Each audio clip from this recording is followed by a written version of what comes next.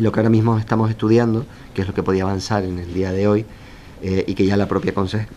consejera avanzó en el día de ayer en la, comparecencia en el Parlamento, es el análisis que estamos haciendo del IRPF para darle más, mayor renta disponible a las familias, con lo cual mejoramos el consumo y activamos la, actividad económica, haciendo eh, determinados gastos que tienen las familias. Y ahí estamos hablando desde las pequeñas reformas, los gastos en medicina, mm, dentista, lo que puede ser la guardería, aquellos gastos que a la familia cotidianos realizan eh, cotidianamente, si los podemos hacer desgravables en el tramo autonómico, motivarán dos cosas. Primero de ello, que al ser un gasto que se puede desgravar, eh, tendrán que pagar menos impuestos y por lo tanto tendrán más renta disponible. En segundo lugar, favorecerán la petición de facturas, por lo cual afloramos la economía sumergida y en tercer lugar,